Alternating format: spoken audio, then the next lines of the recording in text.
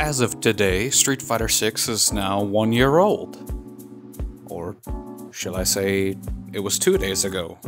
And it's because my pre order, whenever I put it in, you know, months before the game released, decided to come in two days late because I wanted a physical copy. And it's definitely not because I don't know what month it is. Regardless, I just wanted to talk about Street Fighter 6 and just how much I've enjoyed the game. It is legitimately my favorite fighting game of all time. Not only is the game like just really beautiful, uh, I really love the drive system and the way that certain mechanics interact with each other and oh man. I mean, how am I not gonna like it? I mean, I'm a Guile main forever, so Guile being in the game is really cool. Glad that he wasn't DLC like Street Fighter V. And we actually have a Capcom made Guile model that doesn't look weird without sunglasses on. This this right here is a big win.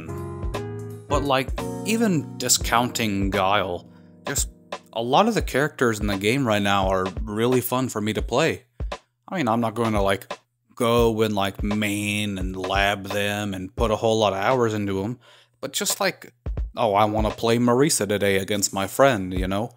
She's fun. I love just armoring and her command grab and just uh, I could say a lot about a whole lot of characters in here. They are amazing. And it's not only that, like, the fighting part itself, the main game is really fun. I, as you can see on the screen, I really loved World Tour Mode. I've put, I think, almost 90, 100 hours into it. And that's just from grinding and going and combing the map for treasure boxes that I missed. Honestly, just making a character and giving them whatever move set I want, asterisk, is awesome. I mean, World Tour Mode and well, Street Fighter 6 in general isn't completely perfect, but this has just been like, if it wasn't to be updated at all, it would be a wonderful package of a game. I think my only real problems with the game is that, uh, you know, the DLC was extremely slow to come out, and having four DLC characters for one season is excruciatingly slow we never really got a lot of additional costumes in the year we got for like the actual characters. And not only that, when we did get them, they are extremely too expensive and there's no bundle. And no, the one year anniversary sale, making them 240 each for all except the DLC characters, costume 3s, does not help that you're still spending a lot of money if you want the set. I look, I could ramble on for that for a while, but I'm not going to because this is a video about loving Street Fighter 6.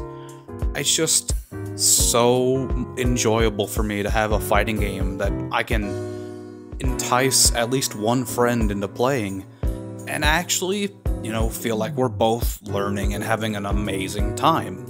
Regardless, I'm just really excited about the game in general. I really want to see what they do for season two, and I'm really hoping that we get Dudley and Vega among like Sakura and some other characters. But I'm I'm just really excited that this game gels with me so much.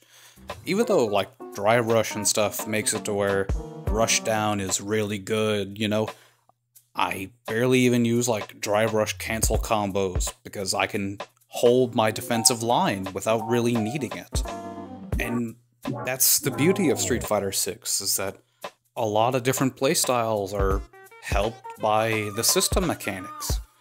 Sure, they might not be, you know, Manon going and drive rushing all the way into the opponent's back ranks, but, uh, you know, not every character is gonna be good.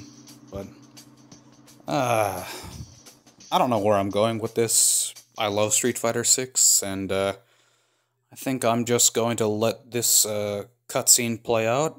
And uh, yeah, that'll be it for me today. Easy editing job. Alright, bye bye.